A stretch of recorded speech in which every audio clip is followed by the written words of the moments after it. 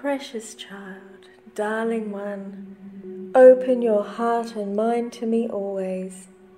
Listen to the voice of love within. Resist all forms of temptation. Keep strong, keep hopeful, be joyous.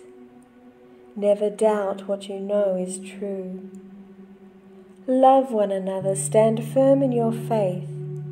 No matter what happens, you will always be protected.